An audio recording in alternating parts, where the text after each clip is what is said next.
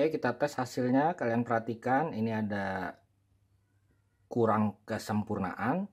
Jadi pada saat dengan rangkaian ini relay tidak bisa aktif bila digabung dengan buzzer. Kalian perhatikan. Saya nyalakan. Saya beri sinar pakai sinar biasa saja karena menggunakan laser terlalu sulit untuk mempaskannya. Oke saya coba.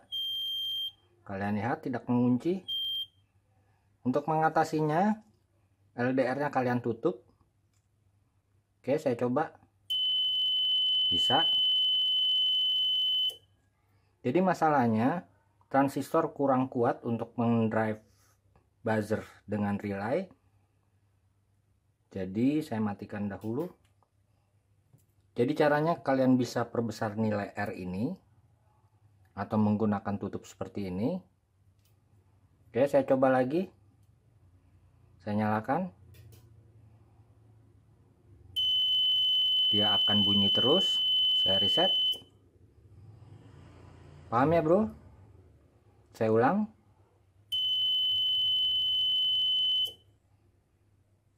Saya ulang lagi. Jadi mantap dengan penutup atau kalian perbesar nilai R nya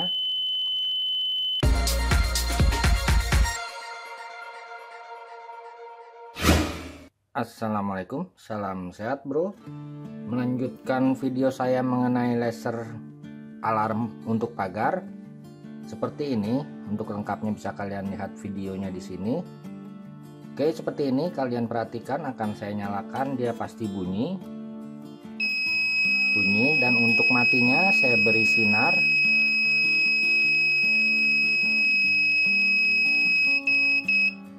Mati bila terkena sinar laser Kenapa menggunakan sinar laser? Agar bisa jauh kita membuatnya jadi bisa untuk 25 meter atau 50 meter tergantung kekuatan sinar lasernya. Menggunakan sinar biasa juga bisa seperti ini. Ini penerangannya sudah terang kalian lihat LDR-nya tidak begitu. Artinya LDR-nya walaupun terang tetap aktif kalian lihat. Perhatikan saya matikan lasernya. Oke, saya beri lampu yang biasa. Dia tetap akan mati dan bila terhalang baru bunyi.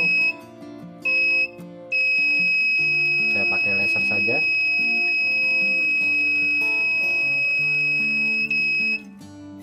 Oke seperti ini.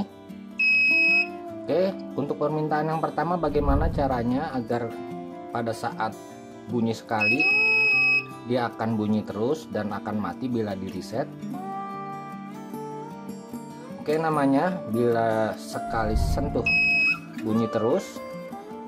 Di dalam elektronika disebut dengan LED jadi pada saat bunyi dan dilepas dia akan bunyi terus sampai di reset. Caranya yaitu kita membuat sistem LED oke ini saya matikan dahulu. Oke rangkaiannya sama seperti ini. Akan saya coba tambah saja di buzzer sini. Di kaki kolektor transistor dan VCC 5 volt akan saya tambah relay saja seperti ini.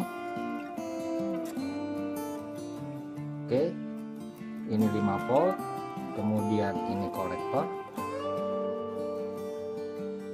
Seperti ini saja kalian paralel kemudian ini ground.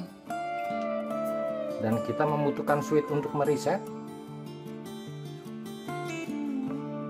Seperti ini terlihat Oke, switch yang kalian gunakan eh, switch push to break. Artinya pada saat ditekan dia putus.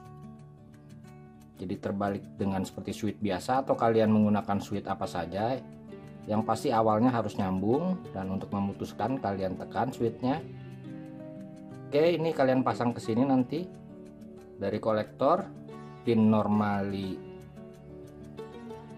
ini normally close jadi pin normally open. Kalian gabung ke kolektor yang ini. Seperti ini saja. Oke mudah bukan? Saya buat saja. Oke relaynya saya menggunakan relay bekas. Switchnya sebentar saya punya switch. Oke switchnya akan saya pasang di fix relay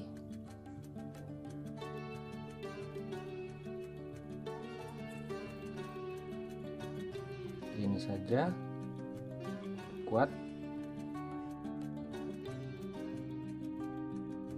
Oke, buzzer saya lem saja agar lubangnya tidak tertutup. Saya lem di sini saja,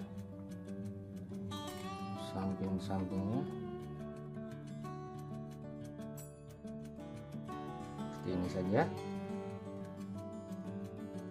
Oke, saya lepas dahulu kabelnya. Oke, kemudian dari saklar akan saya pasang ke ground seperti ini. Terlihat. Ini ke ground. Saya pasang.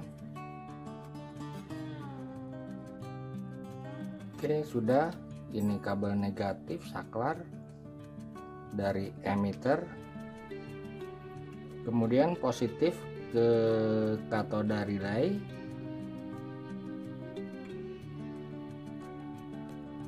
oke sudah ini positif. Oke kemudian anoda relay ke buzzer negatif. Jadi buzzer negatif dahulu. Oke buzzer negatifnya.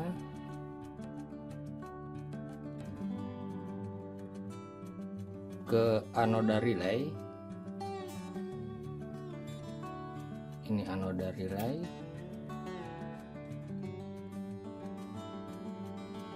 kemudian ke normally open. Ya sudah selesai. Oke kita tes hasilnya. Kalian perhatikan ini ada kurang kesempurnaan. Jadi pada saat dengan rangkaian ini relay tidak bisa aktif bila digabung dengan buzzer. Kalian perhatikan. Saya nyalakan. Saya beri sinar pakai sinar biasa saja karena menggunakan laser terlalu sulit untuk mempaskannya. Oke saya coba. Kalian lihat tidak mengunci. Untuk mengatasinya LDR nya kalian tutup. Oke saya coba. Bisa. Jadi masalahnya transistor kurang kuat untuk mendrive buzzer dengan relay. Jadi saya matikan dahulu jadi caranya kalian bisa perbesar nilai R ini atau menggunakan tutup seperti ini. Oke saya coba lagi. Saya nyalakan. Dia akan bunyi terus. Saya reset. Paham ya bro? Saya ulang.